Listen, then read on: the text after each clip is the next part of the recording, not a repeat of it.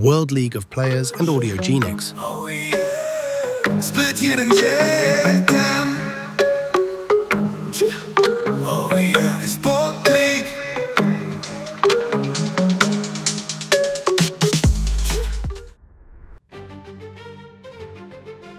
Witam Was bardzo serdecznie na okrążeniu na torze Monza, gdzie odbędzie się runda szósta sezonu piątego. W splicie pierwszym w lidze World League of Players. Zaczynamy okrążenie od wyjazdu na prostą startową i oczywiście przekroczeniu linii meta. Tuż za, tuż za tą linią mety y, odpalamy DRS i dojeżdżamy do, zakrętu, do pierwszej szykany, do zakrętu numer 1 i 2.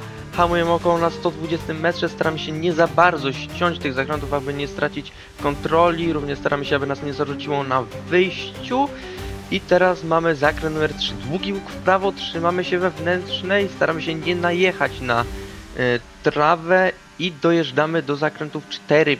Ta sama sytuacja co w zakrętach 1-2, staramy się nie za bardzo ściąć tych zakrętów, aby nie zarzuciło nam bolidu i dojeżdżamy do zakrętów Lesmo, Lesmo 1 oraz Lesmo 2. Staramy się nie stracić kontroli, zwłaszcza w Lesmo 2, gdzie bardzo łatwo jest polecieć na bandę.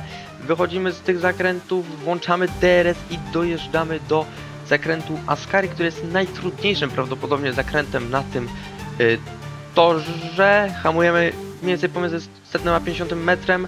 Staramy się nie wyjechać poza limit toru, również staramy się, aby nie stracić kontroli nad bolidem, aby nie polecieć w bandy i teraz przed nami y, ostatni zakręt parabolika, hamujemy na 50 metrze, staramy się jak najszerzej wyjść, aby mieć jak najwięcej prędkości na wyjściu, Y, wychodzimy na prostą startową, trzymamy się najbliżej białej linii i kończymy okrążenie na torze Monza.